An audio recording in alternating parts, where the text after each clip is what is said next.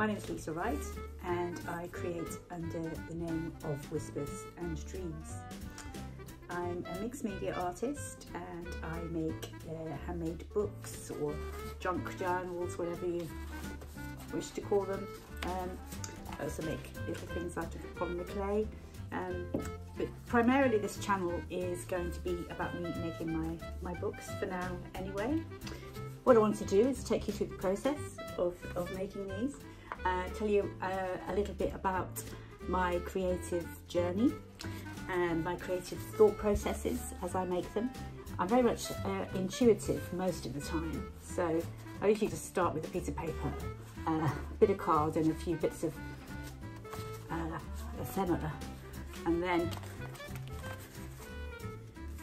and then I just uh, get going really um, there isn't necessarily a plan at the beginning uh, it just formulates as it goes along and uh, I love that I, I, think um, some people prefer to have a plan but I'm definitely much more uh, of an intuitive based artist um, when I'm doing a lot of my other work, whether it's my polymer clay sculpting painting, I um, I usually just go with the flow. It's even the same with when I do writing as well.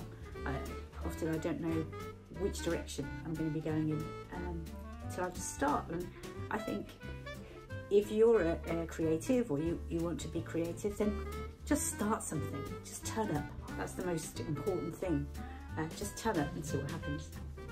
So I'm excited to be starting this channel. It's a bit daunting when you look at how many uh, followers a lot of people in your genre have and also how saturated uh, the market is really for people sharing. But you know, if you don't start small, you're never going to get big, are you? So we'll give it a go.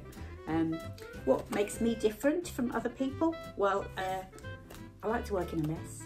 you're not going to get these beautifully set up uh, videos um, which as much as I like looking at other people's lovely clean tables, uh, you're not going to get that with me. Uh, you're just going to get me piling through the mess. Uh, it's just the way that I work. I try to work tidily, but it never happens. Um, you hear my ramblings and thoughts about my creative process, my creative journey. Um, I'll fast forward through the boring bits. I, I hope you enjoy it and please do share in comments anything that you'd like to see, any questions that you might have that you, you'd like me to answer and just enjoy. Uh, please, if you like it, subscribe, like, all those things that's going to help the algorithm find me and allow me to share my art with other people. So, time to go and create.